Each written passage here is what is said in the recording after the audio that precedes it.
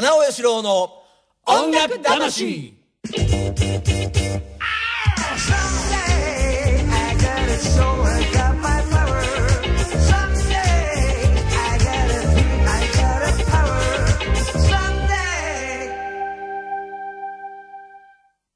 はい。皆様、こんにちは。金尾義郎でございます。えー、一週間ご無沙汰いたしました。金尾義郎の音楽魂。えー、今日はね、えー金玉ということになりましょうか、えー久しぶりですね。久しぶりの金玉というね、えー滑舌よくやりましょう。松下敏美さん。こんにちは。よろしくお願いします。よろしくお願いいたします。今日風強いね。強いですよ。もうさっきね、うん。おばあさん飛ばされそうになったから、ちょっと、ちょっとの間支えといてあげた。あそうなの。特にねここあの川崎えーあの何でしたっけ？タワープレイス。タワープレイスですよね。あの武蔵小杉ごめんなさい武蔵小杉小杉タワープレイスということでね。ビル風もねビル風がすごいんですよねここはね。本当に半端じゃないよね。いやあのお年寄りの方だったらねそういう感じになっちゃうかもしれないね気をつけないとねちょっと危ないですよねこれ。えー、久しぶりの桜田武君。はい、こんにちは。よろしくお願いします。よろしくどうぞ久しぶりでございます。ね1ヶ月近くですかね。一ヶ月ぐらいだよね。ですかね。ちょっとなま、なまるよね。うんなる生る。そうだから、まあ、今まだねその人数制限とかっていうこともね、はいありましてですねあのゲストの方がやっぱりちょっとあお迎えした時はなかなかちょっとこちらもその考えてね桜田君ちょっとお休みになったりライブ三昧ですか？9月は結構多いですね。まあまあ結構多かったねはいはい。そっかそっか。結構同じ日にね、ライブやって。そうですねということでね今日は金玉、はいでまあちょっとダラダラした感じでねやりましょう。いつものようにね。いつもね。だらだら。えー、だらだらっていうかねあのそうでもないですけどもなんか何からやろうか、えー、なんかリクエスト来てますか？来てますよ。はいじゃあ早速ご紹介いたしましょうか？らいく。じはいペンネーム。はいマリと桃子さん。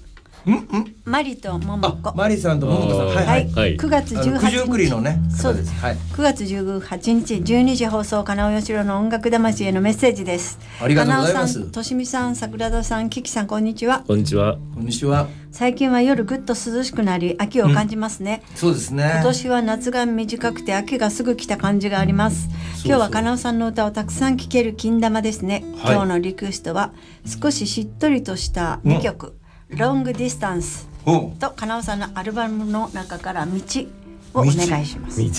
金尾さんのフェイスブックで撮影用の写真拝見しました、はいはい。爽やかで風を感じられてとても素敵な写真ですね。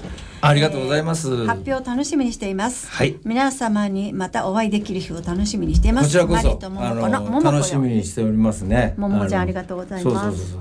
まああのでもあれだよね。あの塚作とかね、あの、割とブルース系のファンの方ですよね。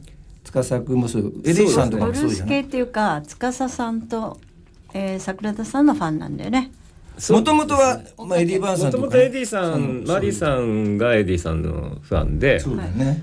でエディさんが出演する予定だった大香川のうん花見のあ。ライブでエディさんが。塚作君とかもね、やってたからうんそうそう。エね。ディさんがね出れなくなっちゃってその日を司作でやることになったんですよあ、そういうことなんだ。そう。で出れないのは承知で見に来てくれてうん。そしたら気に入ってくれてそれ以来の。あ、本当。それ以来。結構長いっちゃ長い、熱烈なファンで年にね何日ぐらい来てくれますかね。ほんとほぼ毎月月何回も来てもらったりとか、ね、本当遠いとこからね。熱心だもんねえー、ということでねリクエストじゃあ早速お答えしましょうか、い。ロングディスタンスいこうか、はい。はいはい。えー。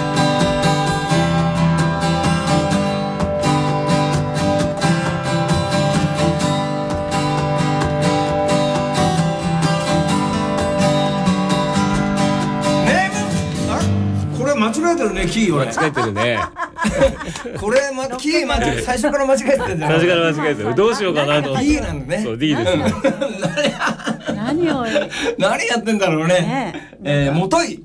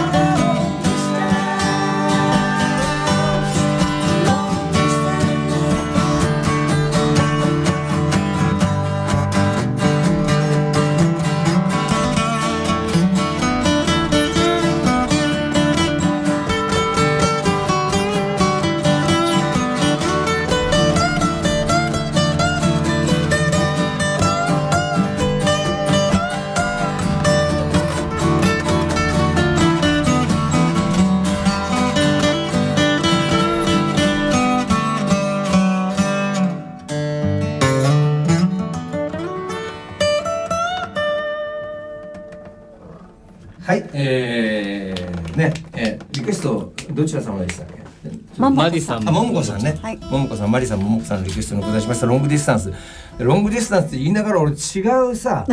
あれを指してたのよ。どうしちゃったんですか？いや、どうしてたよのそれでね頭出ましたねこれはちょっと入れないでしょう。ねえーと何いうことで何が起こるか、うん、あの生放送でねねこういうことになりましたけども、ちょっと今日はテンションはあの上げてますねえー他にお便りありましょうか。はいはいありますよ。はい、えー博多のみきさんありがとうございます、ありがとうございます。ありがとうございます。皆さんこんにちは。こん？にちはこんにちは。朝から湿ってるこちらですが明日は少し回復するみたいで。あやっぱ全国的にちょっと不安定な天気なのね。風がすすごいけどでも湿度が高いですよね、明日ここっちが雨だね本当に？そうなの？そうそうなんだ。梅さんとこにカレーを食べに行く予定のオイラですああああのー梅さんとこそうそうそう。う梅梅梅ちゃんってね。はいカレー屋さんですか？そうそうあの、ええ。元僕のバンドでずっとベースをやってた、あの今田川でねあのカレー屋さんキキートンカレーっていうカレー屋さんやってて。ー。でたまにまあ九州帰った時にベース弾いてくれるんだけどね、うん。もうあのそう徳間の頃のいもう一緒にやってたね。あの、ベーシストでね、うん。はい、先週のブルースボーイズのお二人もやっぱり最高でしたね。ね。あの余裕というかリラックスした雰囲気は金尾さんとの関係性が見えて本当に素敵な時間でした。ああもう久しぶりでね。僕も楽しかったね。なんかもうね。本当相変わらず新井さんは。新井さ面白いよんの心ね配をしてたんだけど。でちょっとあんまり突っ込んで聞くのもね 悪いかなとか思ってちょっとそしたらもう自分からばあのどんどん言ってくれたので、面白かったようん、面白かったですね。今週は金玉、うん。今回はメッセージが届いていることを祈ってます、はい。祈ってますよ、はい。えー今の状況の中で最近は配信を見ることが本当に多いんですけど、うん。えー生のライブへも行けるようになりつつあります、うん。そこで感じるのはやっぱり生のあの空気、うん。音の振動を体験すると配信では物足りないなってことですね、そうですよね。アクリル板があろうがいちいち換気の時間があろうが絶対に生のライブの方が良いですよね。前から思ってることだけど、うん。改めてそう感じてしまいます、うん。うん。加納さんもこの間のライブお楽しみ様でした。えーラビット桜田さんもやっぱり違ったでしょうね。え？あ俺。俺俺ララビビット。前来た時言ったんだよラビット。の話になってね。えとほらズとかいろいろ話して。あそうなんだドラゴンなんとかとかいう話からさ。あはいはいはいはい、ラビットはい。桜さあ俺もうさぎ年なんでラビットになっちゃうあ、ねかっこしつこいかって書いてますけど、えー今夜も東京からこっちにやってきた友達のライブに行って、うん。生の空気を楽しみたいと思います。うんうんうんリクエスト Still I love you 私の青空。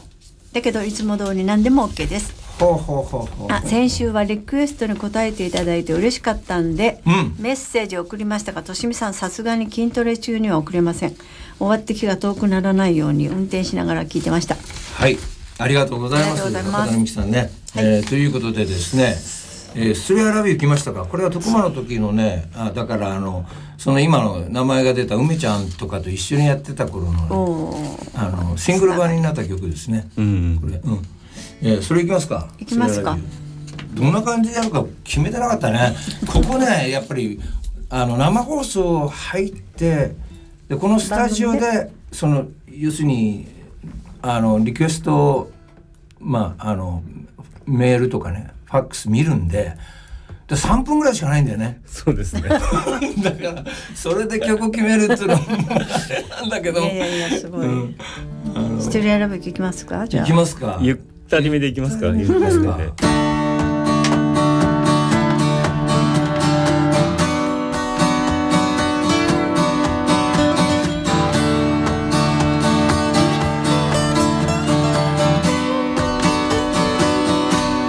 街で見つけた。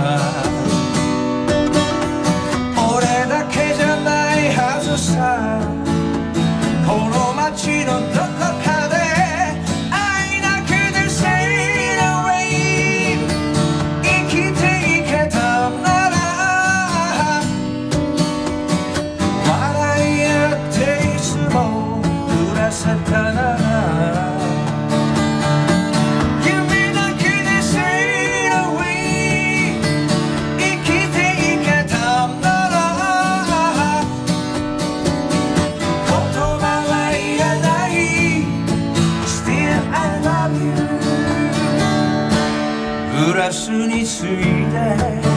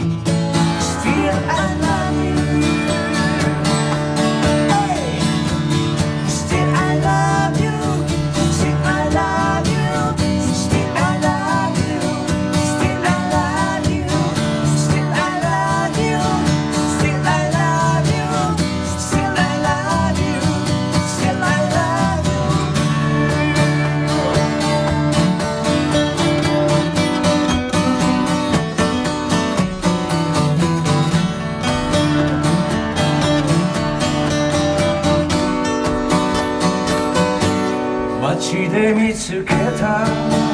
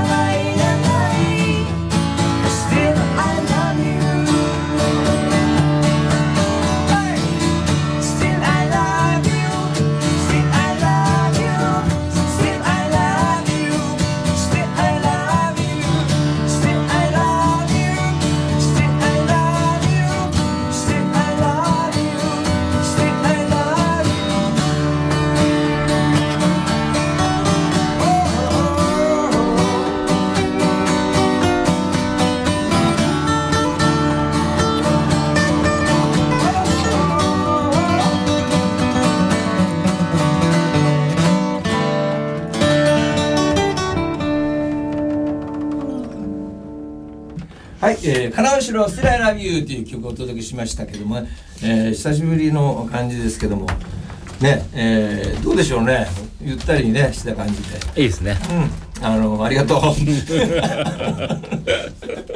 えー、まあ、あ、大丈夫ですか？咳込んで、あ。失礼しました、うん、えー、なんか乾燥してるから感想。そうですか？でも、まあ、あのこれはね。あの柳葉敏郎君が歌ってくれて、はいはい。はいこれ一応初登場オリコン50位以内に入ったの素晴すごらしい。い。で一応ねシルバーディスクなんかももららった経験があります。ね作詞部門作曲部門。素晴らしい。だからちょうど思い出としてはねこれでもずいぶん前のにあの徳間ジャパンの時いただいたんですけど、うん。えー寿司食い放題っていうことで 俺聞かされてなかったのよバンドも。もうみんな。でその表彰式だって知らなくて。それであのかし霞ヶ関ビルのねなんか上の方で行ったのよ呼ばれて。でも汚い格好して行ったわけ。はいはい。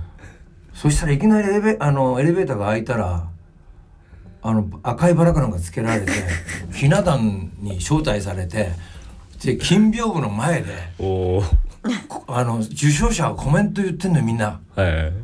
俺もなんか五木さん五木ひろさんあ五木ひろしさんとか吉幾三さんとかも来てて、はいはい。で吉幾三さんがちょうど雪国の時だったのね。雪国ではいゴールドディスクもらう、はい。そのまあいあの今はあねお亡くなりになりましたけどもそのえー悪友さんとかね、はい。そうそうたる人たちが来ててね。そういう人たちの中に入るのも僕はもうねそんなになかったからちょっと緊張するかなと思ったらそんなしなかったね。で汚い格好俺たちだけなのよ。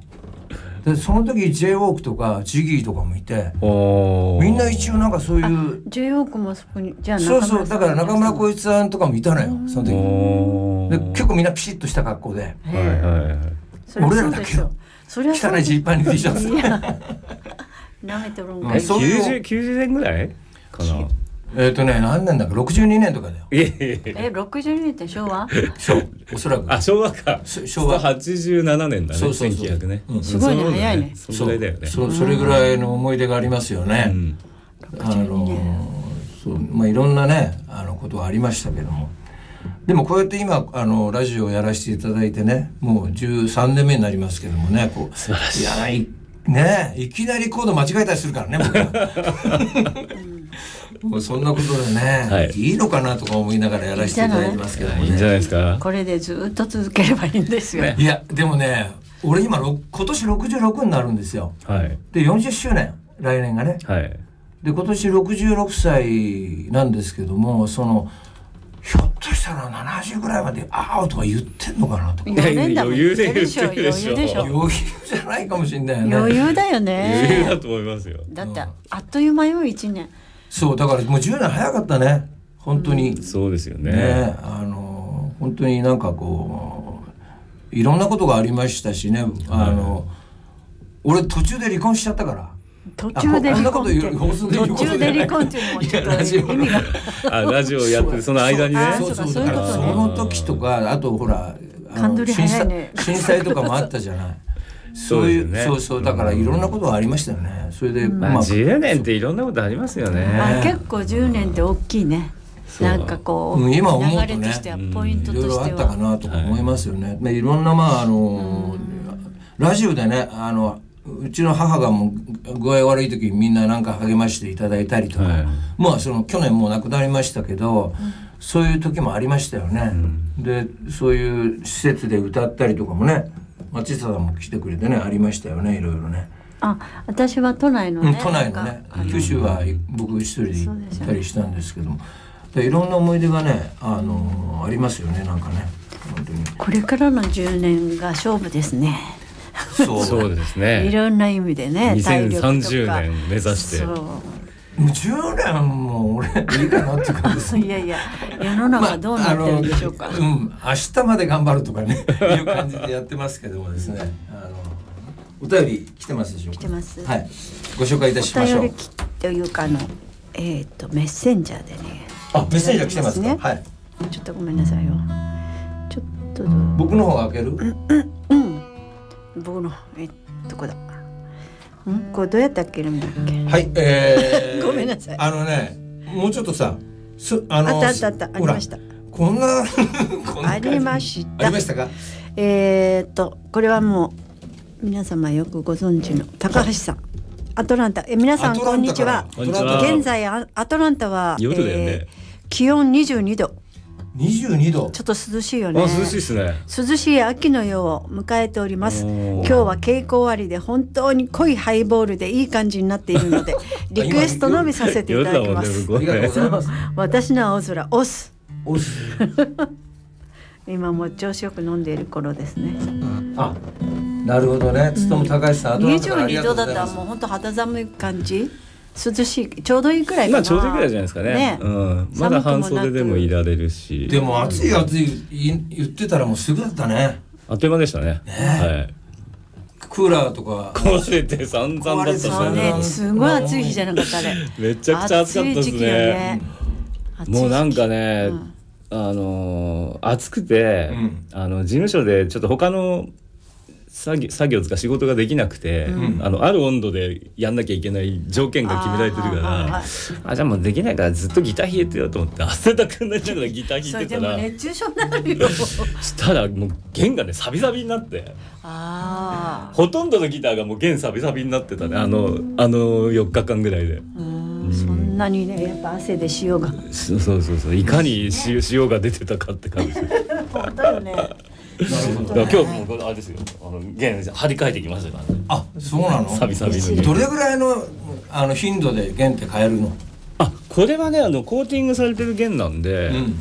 3ヶ月ぐらい持つんじゃないですかね。そうなんだ。うん。えそんなに変えなくていいの？結あこの弦はねコーティング弦は長持ちするんで、うんうんうんあの音色があんま変わんないですよ。うん。普通の弦ってだんだんこう、うん。汗とかこうサビとかで、うん音がどんどんどんどん丸い音になっていくじゃないですか、うんでコーティング弦ってねすあのほとんど音変わらないんで、でもあんまりその弦を変えないのが好きな人もいるいるいるいる。あの丸っぽい音が好きな人。特にベベースとかさ。そうですね。ベーシスト、そういうねベースプレイヤーとかいるけどね、うん、うんこれ本当なん9ヶ月ぶりかな。長持ちする。あえ？そう。弦変えた本当でもあ切れないの？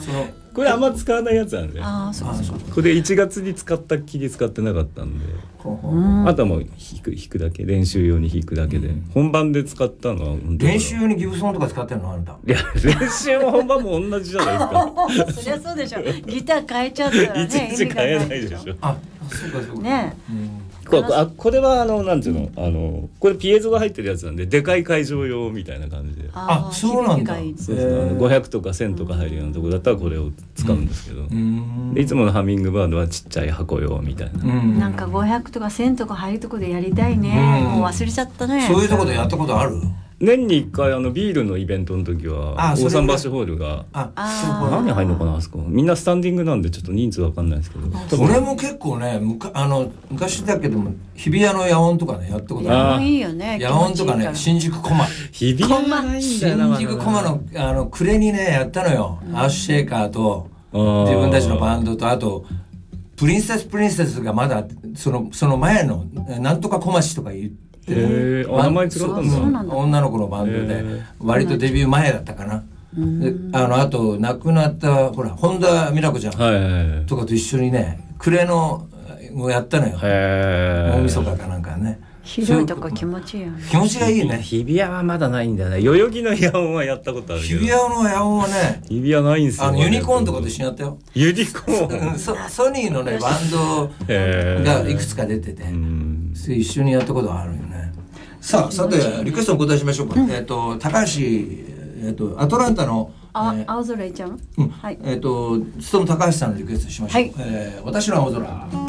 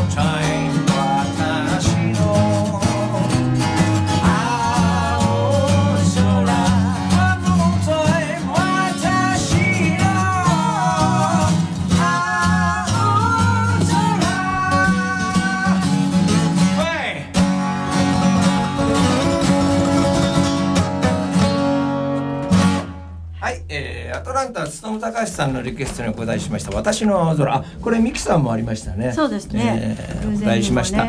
私の青空でした。マイブルーヘブンですね。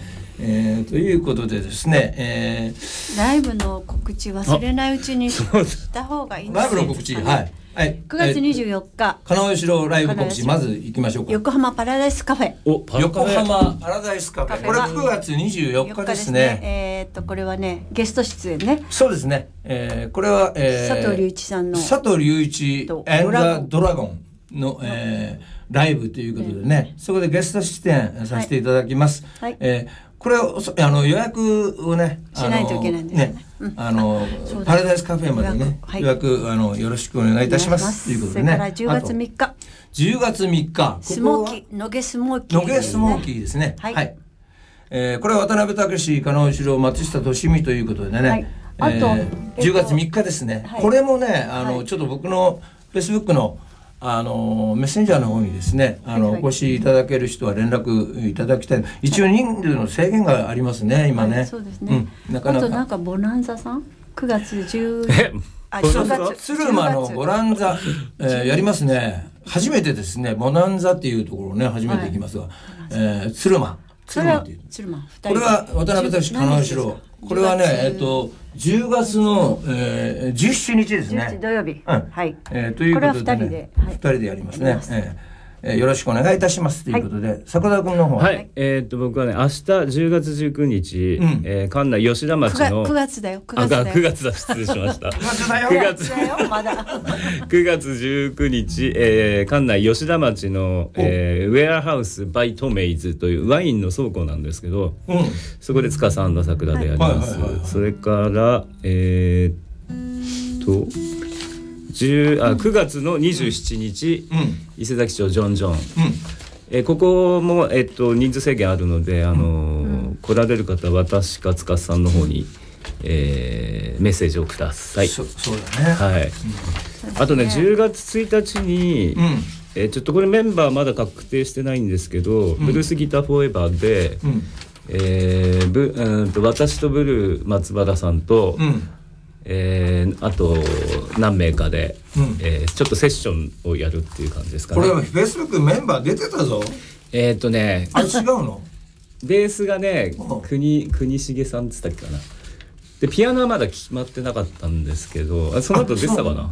うん。そんな感じ。まだ、そうか。そういう。まあフれなんだェイスブック見ればねアップしますんで、えー確定したらあの、はい出しますのでよろしくお願いしますよろしくお願いいたします。はということでね。あと10月16日スモーキーも決まってましたあ、スモーキーが。はいよろしくお願いします頑張っていただきたいと思います。まだまだね、あのライブも、あの、うんお客さんもすごくね、あの。よ、呼びにくいっていうかね、なかなかそういう状態でも、だんだん、なんかね、あの。やっぱお店の方もちゃんとね、あの換気したり消毒したりとかってね、マスクもそうだし、あの体体温を測ったりとかね、はい。そういうこともありますよね。そうですね、うん。この間マイクのま周りだけにあのアクリがついたやつ初めてやりましたよあ僕も横須賀で。あのそういうのある。丸いねブルースギターフォーエバーにあってる。こうま丸いやつでマイクにスポッとはまるのね、そうねアあで売クリがってるらしいんだよ今ね。あ売ってるんだね、うんうん。あそそううなんだ。売ってるんですって今、あ本当。この輪っかがこうこういうのね。ほらさ猫が怪我した時ああそうそうそう首につけるるやつ。あれみたいな感じ。あそういえばそうだね。そうそんなんかあれ見た時あれ猫ちゃんがやってて。いやあれねまあいつか出るだろうなとは思ったけどね出ましたねやっぱね。いろんな人がいろんなグッズ。まあでもいろいろ工夫してねあそうですよね。だんだんやっぱり日本は特になんていうかなそんなに広がりがないからね。そうですね、うん。やっぱりみんなマスクしてるし、うん。き気をつけてるからね、そまあれはさ日本は何百人とか言うけどインドって9万人とかだもんね。一日ねうん一日が何万人だからすごいね。あそうなの僕はあん。まりもう最近見てないんだよねあのんなんかでもまああのそれぞれが気をつけてねやっていきましょうということで、えー松下敏美さん行きますか？ちょっと一曲今日は。一曲ね。うん。今日ねあのあれ持ってきてないのよ。今日はねウクレレ版ウクレレ持ってきてなくて、あのちょっといあのあれがない行かなきゃいけないとこがあるみたいで。あそうなんですね。というかねネタが切れたというネタが切れた。ちょっとお休み。ウクレレ楽しみにしてる人いるかもしれない。本当？あの松下さんじゃあ僕の曲で、そうそう。あの、えここれもねあのふ福島の須賀川のね方とかがもうえー歌ってえーいただいてますけどもね須賀川の方はね一曲だけじゃないのよ。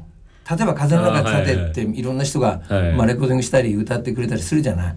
だからねもういろんな曲を歌ってくれるんで、本当にねなんていうかなこう嬉しいよねアレンジもか変えて変えて変え編すぎて曲する人もいるからいやねいやあの僕ねこれの今日曲じゃないかと思っちゃった。そうそう去年見せていただきましたけど感動しましたよね。あああれもね自分何日か前にね、うん。あの歌ってた人がいてそう、ハングリーハングリーとかもそうだし、うん。いろいろ歌ってくれてたり、ねそのリバーサイドもそうだし、あの、道とか道ね、ね、そうそう道道。道とか道すごいよね。ねあれはあのアレンジは自分のものになってるね。もう完璧だよねあれね。うん。自分の歌になってるもんね。自まあ、あの、そうやってね、皆さん歌っていただくことだけがね、やっぱり嬉しいですよね。うん、ということで、今日はリバーサイドホームタウン松下バージョンでいきましたか。こちらましょうね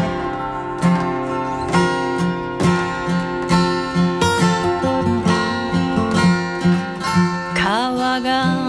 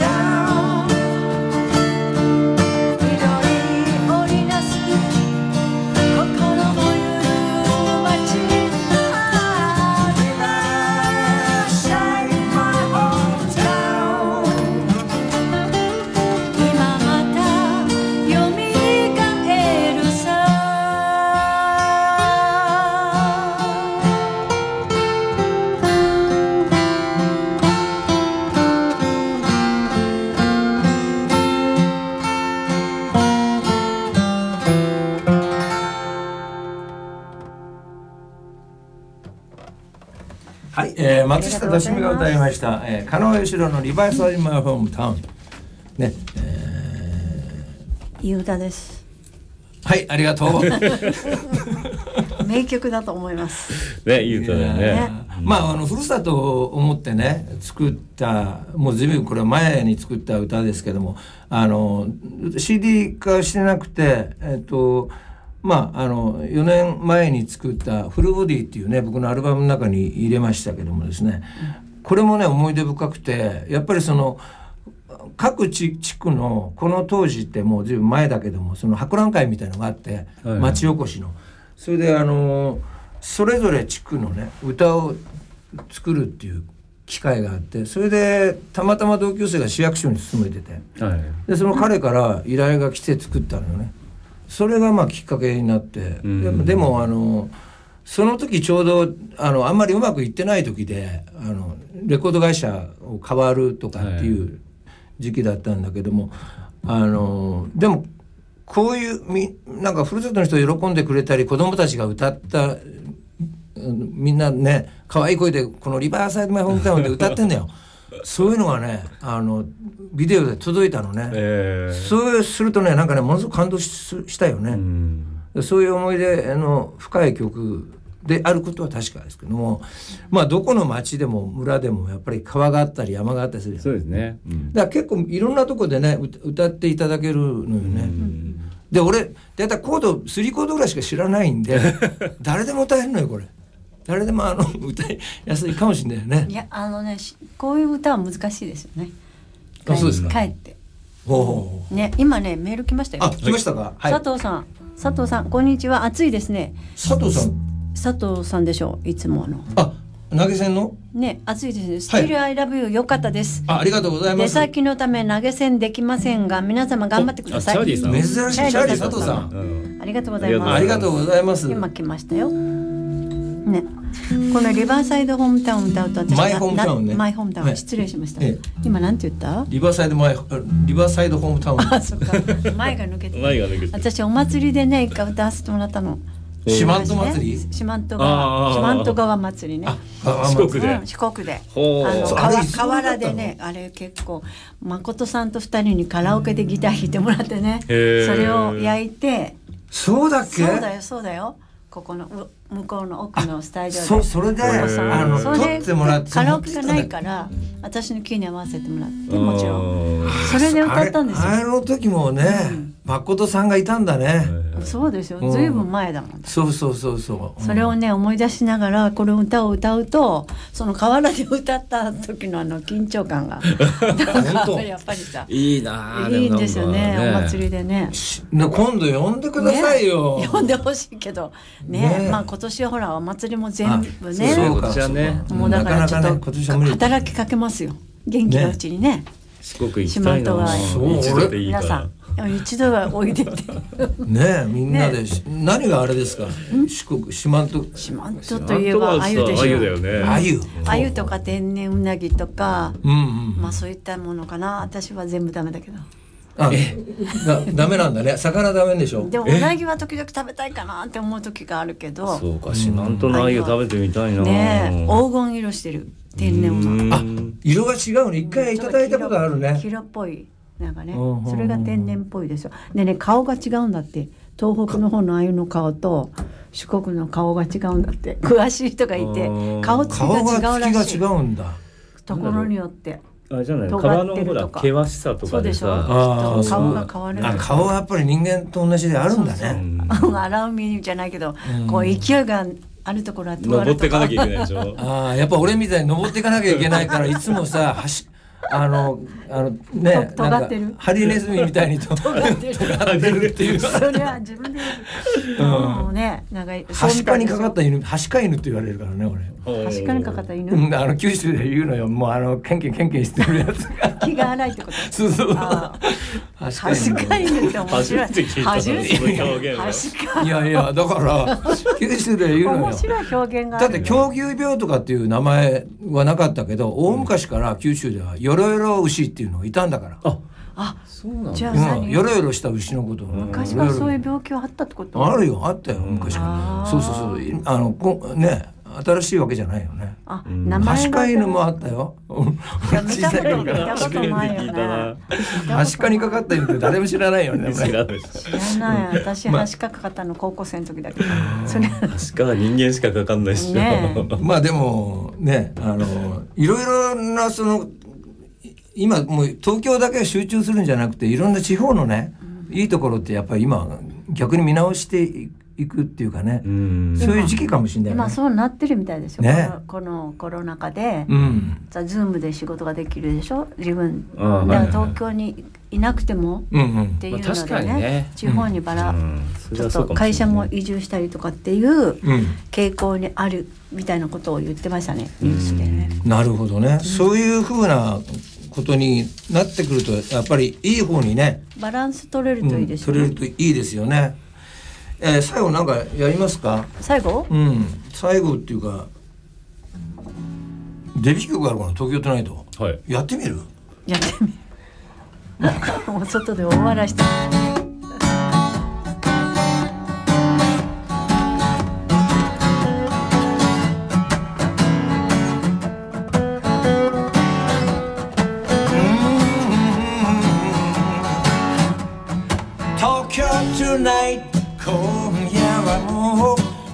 bigger now.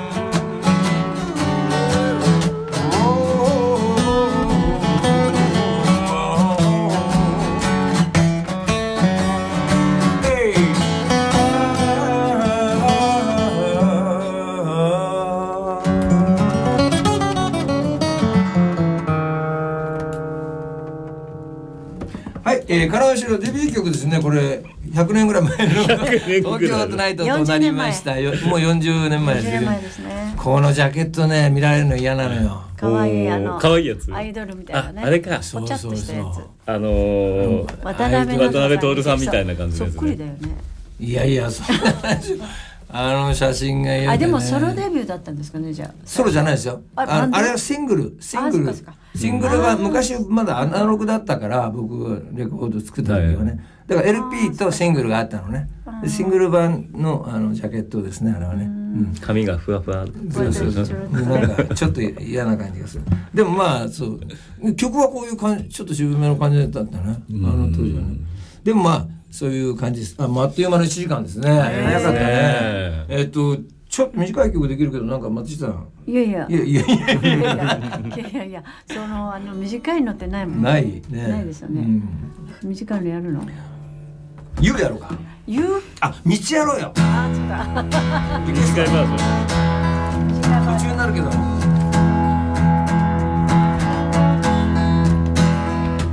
お前は今日も俺を罵っ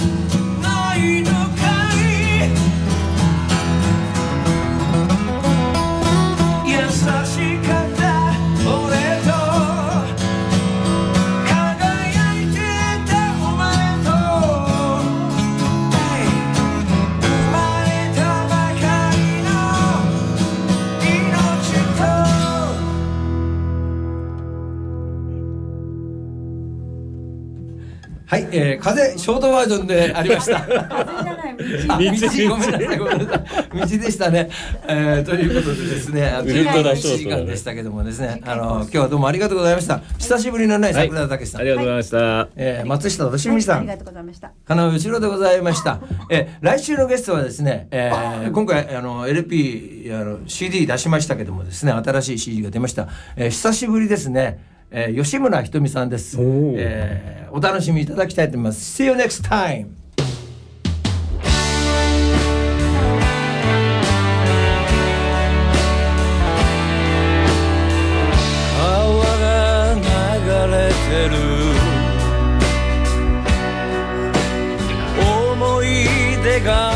川